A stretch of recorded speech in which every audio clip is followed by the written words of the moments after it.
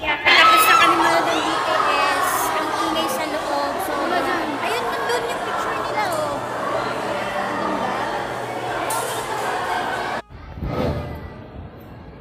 Hanapan ni BTS. In fairness naman, magaling at saka guwapo. Guwapo. Yun, umiiyak pa nga dun eh.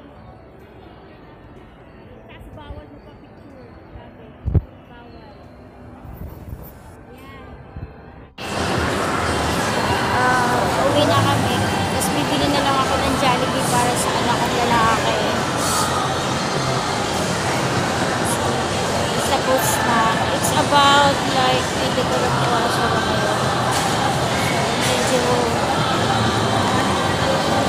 hindi masyado matao kasi hindi na Sunday. Walang sale.